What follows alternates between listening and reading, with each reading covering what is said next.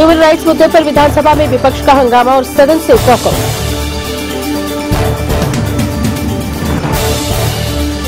विधान परिषद में भी मानवाधिकार हनन पर बहस की इजाज़त न मिलने पर विपक्षी सदस्यों का वॉकआउट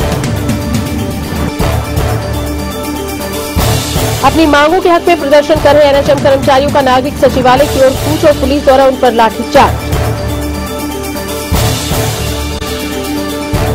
पाकिस्तान की तरफ़ से सांबा में सीज फायर का उल्लंघन, बीएसएफ का हेड कांस्टेबल शहीद।